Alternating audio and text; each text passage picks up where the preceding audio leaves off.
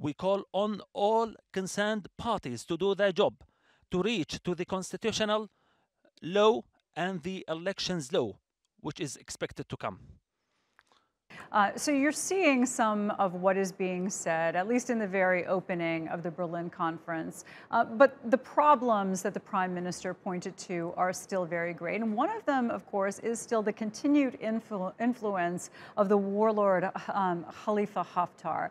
Tell me about what kind of power uh, he still wields and the problems that that will continue to create for Libya obviously, uh, uh, Haftar is a major player in um, uh, Libya.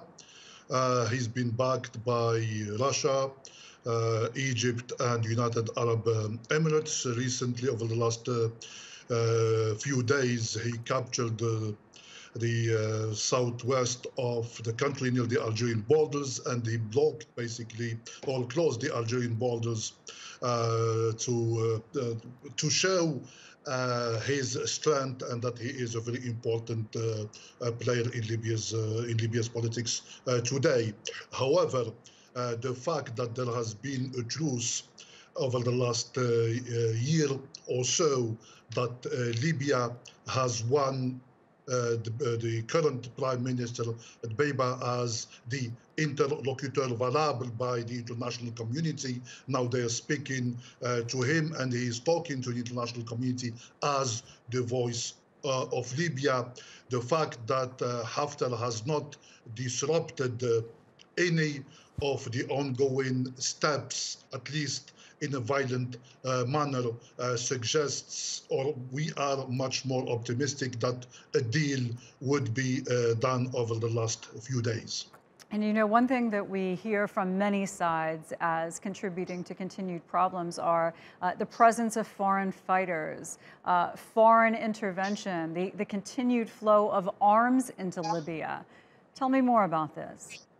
Well, obviously, uh, uh, in the first conference uh, back in October 2020, uh, the major backers of the Libyan factions have at least pledged to stop uh, sending arms to Libya. Let's agree on one thing that the warring factions in Libya are doing war by proxy. We, on the one hand, we have uh, Turkey as the major player supporting the uh, Tripoli uh, government. On the other hand, we have Russia, Egypt, and United Arab Emirates uh, supporting the east of the country.